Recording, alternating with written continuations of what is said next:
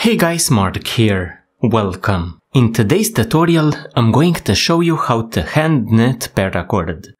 So in the past, I've shown you how to do this either with a knitting spool or using your fingers to get the same effect as using a couple of pegs. Today we're going to avoid any sort of a tool and we're just going to be using cord. We begin knitting on one end of our cord. We form a couple of loops. So one, two, we cross them, then we pull out the two inner strands. This one towards the top, this one towards the bottom.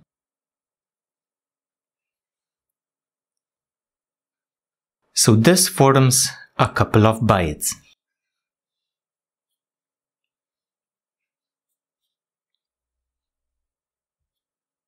We start our knitting by forming a new bite on top of the existing one on the right. We feed the new bite into the existing one. Then we tighten up the existing bite. We do the same thing on the left. So a new bite on top of the existing one, feed the new bite into the existing one, then tighten up the existing bite.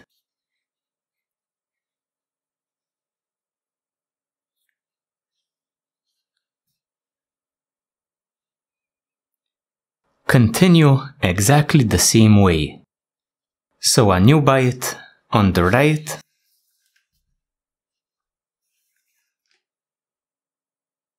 Feed that into the existing bite.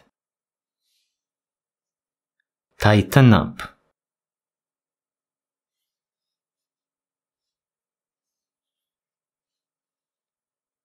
On the left, a new bite feed that into the existing bite, tighten up.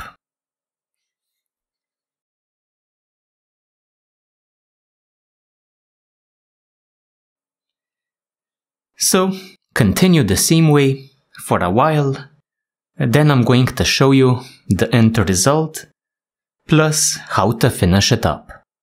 For now, we continue exactly the same way.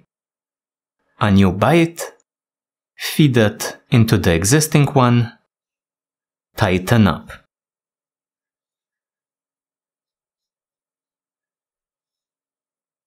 A new bite, feed it into the existing one, tighten up.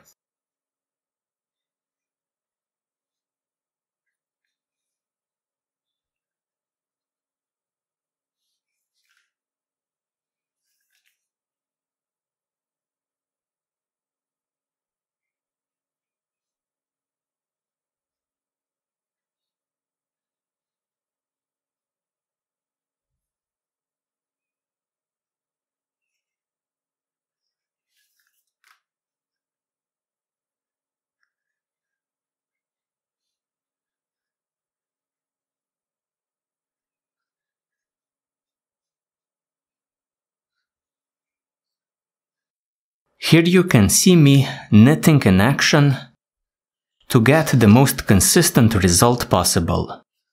So, I use small loops like this just to save time. And I control the tightening here at the center. So when I'm tightening up, I try to tighten up equally every time.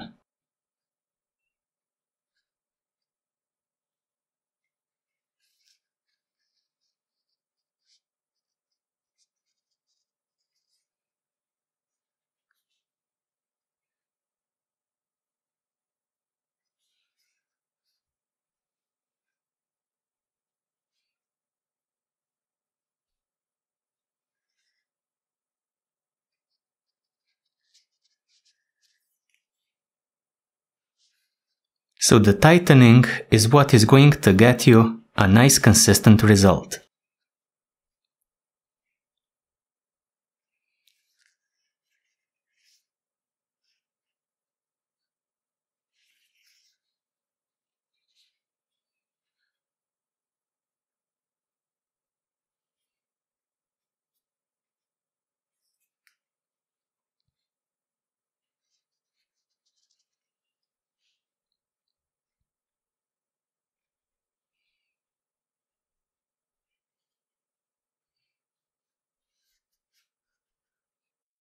We finish our knitting the usual way, so we feed the end of our cord through the two bites, like this, pull, and lock everything together. You may need to do a bit of adjusting, but for the most part, this is done. Now you can use this sort of knitting for dog leashes, bracelets, lanyards, all sorts of things. It takes a while to do, but it looks good and quite consistent. Guys, thank you for joining me in this quick tutorial. I hope that it comes in handy. Thank you and see ya next time.